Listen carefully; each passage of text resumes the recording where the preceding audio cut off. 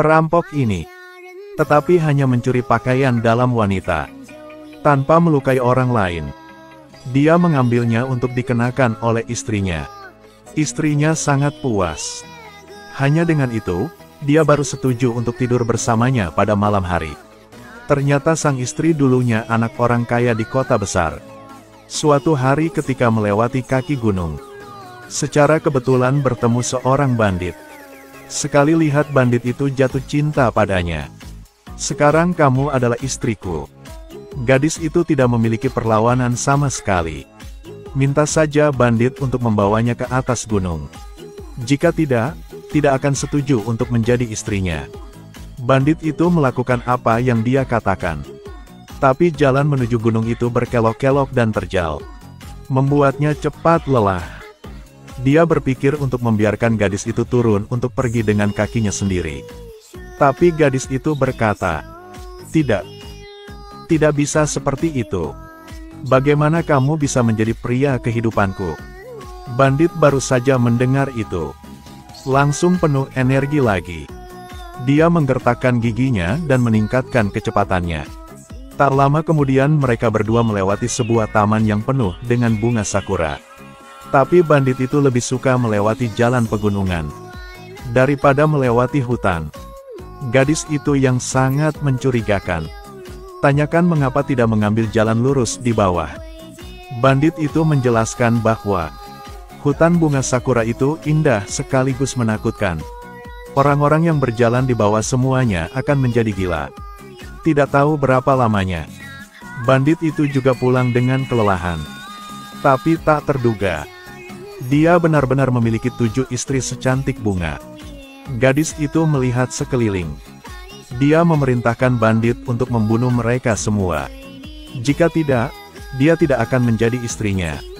Setelah berpikir sejenak, bandit itu menghunus pedangnya dan bergegas menuju tujuh istri itu.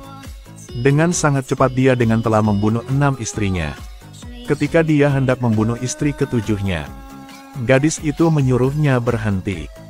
Dia mengatakan untuk menjaga satu orang untuk menjadi pelayannya. Malam harinya bandit itu mendapatkan gadis yang diinginkannya. Istri kecil di sebelahnya hanya bisa pura-pura tidak melihat. Untuk membuat istri baru hidup bahagia setiap hari, bandit itu memburu dengan keras. Namun makanan yang dibawanya kembali dikritik oleh istrinya. Kau memberi aku makanan milik babi, kan? Bandit itu tidak mengerti apa pun yang dia pikirkan. Dia biasanya hanya bisa makan makanan enak sebulan sekali.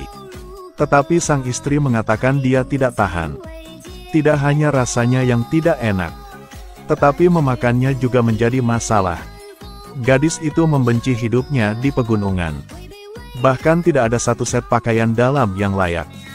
Bandit itu segera mendapatkan ide. Jadi dia akan mencuri pakaian dalam wanita. Membawa pulang untuk istrinya. Sang istri memang menjadi sangat bahagia. Sayangnya saat-saat indah tidak bertahan lama. Segera dia berkata bandit itu pergi menebang pohon. Untuk membuatkannya kursi geladak. Dia setiap hari hidup seperti seorang ratu. Istri kecil selalu mengikuti untuk melayaninya. Tapi masih belum memuaskan dia. Sepanjang hari berpikir untuk kembali ke Kyoto. Bandit itu tidak punya pilihan selain setuju dengannya. Jadi musim semi berikutnya, Tiga orang pergi ke Kyoto bersama. Tapi bandit sejak kecil tinggal di pegunungan. Jelas tidak cocok untuk hidup di pegunungan. Dia melihat penjual lobak di pinggir jalan. Sedang berteriak undang tanpa henti. Membuatnya berpikir lobak terbuat dari emas. Dia baru hendak mengambil lobak dan melihat dengan hati-hati. Tapi tidak menyangka akan ditertawakan oleh penjualnya tanpa ampun. Dia sangat kurang pemahaman bahkan lobak pun belum pernah terlihat. Memang pintar. Bandit itu marah dan segera pergi. Dia pergi ke pub untuk minum. Tetapi ketika dia pergi, dia tidak tahu berapa banyak yang harus dibayar. Jadi dia meninggalkan dompetnya di sana. Membuat para tamu di sana tertawa terbahak-bahak. Dia bertemu dengan kereta mewah di jalan. Dia mendengar bahwa di dalam ada seorang putri cantik. Dia ingin membuka tirai untuk melihat. Tetapi dihentikan oleh orang-orang di sekitar.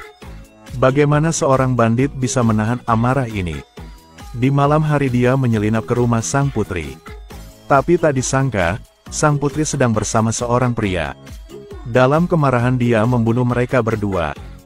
Dia membawa pulang kepalanya. Namun tak disangka sang istri sangat tertarik. Karena keduanya adalah bangsawan di Kyoto. Juga musuhnya sebelumnya. Sejak itu, istri seperti setan. Setiap hari, dia memerintahkan bandit untuk membawa kepadanya. Lambat laun kepala manusia memenuhi lantai. Istri memakannya setiap hari dengan kepala-kepala. Bandit itu juga membunuh sampai kehilangan perasaan. Dia mulai mengingat kehidupan di pegunungan. Setiap hari di kota kelelahan fisik dan mental. Tidak hanya itu, pulang dan melihat istri gila. Dia mulai tidak mau pulang lagi. Dia suka pergi ke tempat yang tenang untuk menyaksikan matahari terbenam. Hidup seperti ini. Kapan akan berakhir? Hari ini istrinya memintanya untuk mengambil kepala lima, enam penari. Dia akan mengadakan pesta dansa di rumah. Dia pikir dia akan menolak. Tapi istrinya bilang, Ternyata, kamu pengecut. Bandit itu hanya bisa keluar dengan tubuhnya yang kelelahan. Tapi dia tidak membunuh orang. Tapi pergi ke gerbang kota untuk tidur selama satu malam. Ketika dia bangun keesokan harinya, dia lapar. Dia awalnya akan meminta makanan kepada orang-orang di sekitarnya. Tapi tak disangka pengemis itu juga menertawakannya. Apa ini? Mengemis dari pengemis. Dia menjadi gila di jalan. Mencuri dua jeruk dan kabur. Tetapi tidak menyangka, pada akhirnya akan ditangkap oleh petugas. Setelah masuk penjara, petugas itu datang untuk menyiksanya alih-alih menginterogasinya. Mereka bertanya apakah dia tahu tentang setan pemenggalan baru-baru ini. Bandit itu mengakui bahwa dialah orang itu. Tetapi dia tidak menyangka ini akan menarik orang-orang di sekitarnya. Tidak ada yang percaya padanya. Karena si pembunuh memenggal kepala sangat angkuh. Bagaimana bisa adalah pencuri tanpa makanan? Bandit itu dikirim ke penjara begitu saja karena mencuri. Bunga sakura jatuh dari jendela. Dia menyesal mengapa pergi ke ibu kota kerajaan. Mungkin dia tidak akan pernah kembali ke gunung lagi. Tapi sekarang, tiba-tiba bergegas memberinya satu set pakaian. Pakailah jika kamu tidak ingin mati. Keesokan harinya bandit dan satu orang datang ke rumah pemiliknya. Dan ingin mengambil semua barang di rumah. Mengatakan bahwa tuan tanah ini telah menyelundupkan dua singa emas kembali dari Cina tanpa memberitahu raja. Jadi langsung ke rumah itu untuk mencari. Bandit itu pun mengambil kesempatan ini kabur. Melihat suami yang belum kembali selama beberapa hari.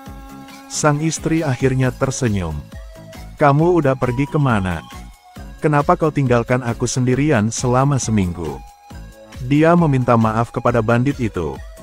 Dia seharusnya tidak menginginkan kepala dari lima penari itu. Dan mohon ampunannya. Dia tidak mengatakan apa-apa. Hanya saja kali ini dia memutuskan. Toh dia kembali ke gunung. Dia awalnya mengira istrinya akan menolak, tetapi tanpa diduga. Hidup bersama untuk waktu yang lama. Dia tidak bisa menjauh dari bandit itu. Bahkan tanpa kepala. Tidak tinggal di Kyoto yang ramai. Pun tak apa-apa. Hanya saja tinggal bersama suaminya saja. Keesokan harinya mereka meninggalkan istri kecil mereka di rumah, untuk menjaga rumah. Mereka berdua memulai perjalanan mereka kembali ke gunung. Saat melewati sungai kecil, sang istri berseru bahwa sinar matahari itu indah. Seperti hari pertama mereka bertemu. Bandit itu juga ingat hari itu. Hari itu adalah hari paling bahagia baginya. Karena dia bertemu dengan wanita tercantik di dunia. Sang istri menyarankan apakah akan menggendongnya sama seperti hari pertama. Bandit itu dengan senang hati setuju.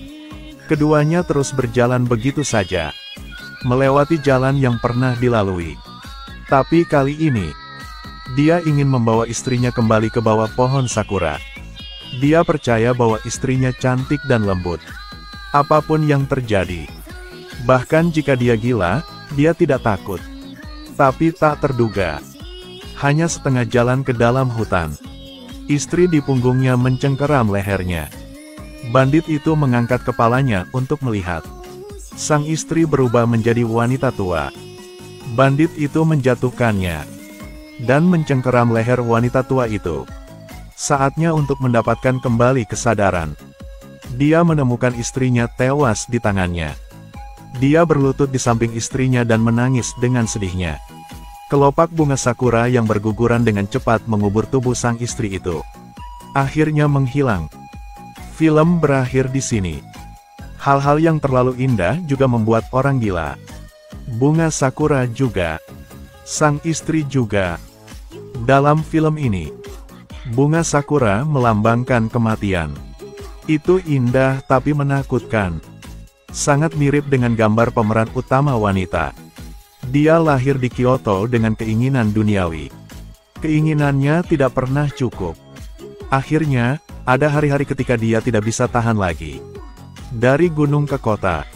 Akhirnya kembali ke gunung.